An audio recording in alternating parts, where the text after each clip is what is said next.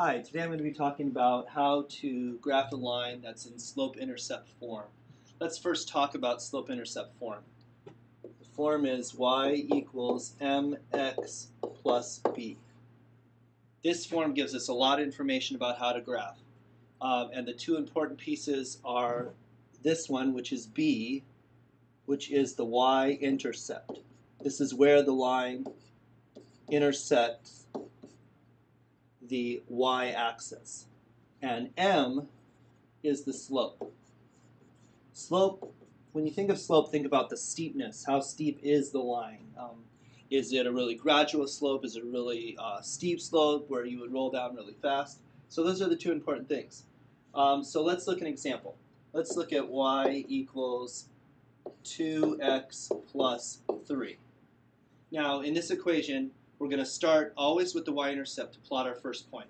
So as you can see, plus 3 is the y-intercept. So all we have to do is go up on the y-axis and plot a point at 3.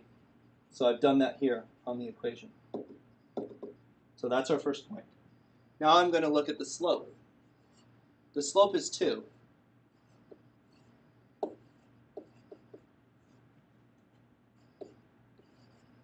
Well, what does that mean?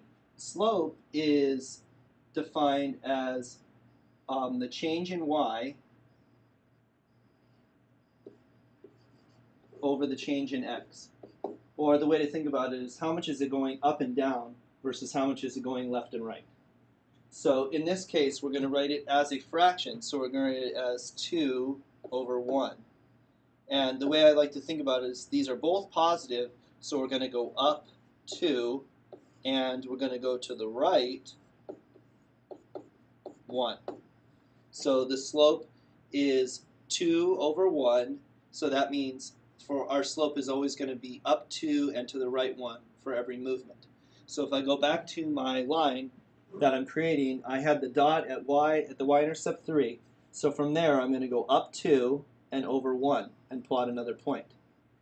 Now I can also keep doing that. So from that point that I just drew, I could go up another 2 and over 1. Uh, remember, I only need two points to draw a line, but the more I have, the more, um, the better it's going to look, the more accurate my picture is going to look. Now also what I can do, um, this might be a little confusing, but I can also go down 2 and to the left 1. And you notice if I do that, it's going to it's going to form the same thing. So if I go down 2 and over 1 to the left, Oops, my smartboard's a little bit off. Then what I get is that point too. Now I have enough points where I can actually draw the line.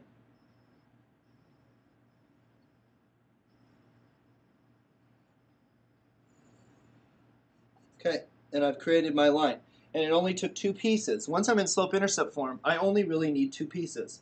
I have the y-intercept, which I plot first, which I plotted at 3 and then my slope, which I break down into the change in y, or the change in up and down values, versus the change in left and right values. And notice this slope was 2, and that's pretty steep.